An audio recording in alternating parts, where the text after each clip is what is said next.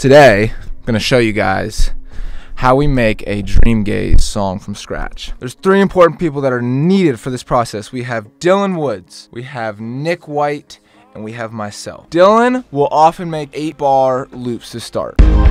Then I start recording the vocals. Sounds like a regular night. Vocals are on the track and the track is just looping. It sounds like shit to be honest with you. So then he gets to work on constructing the beat after Dylan finished his version of it. This just sounds like a regular night. This is where it starts getting, you know, you're like, oh shit.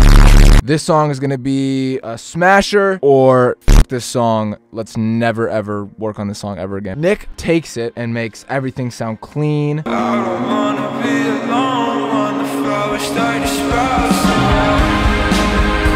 This song is called Toxins and Smoke, and it's coming out April 28th. The pre-save link is in my bio. Peace out.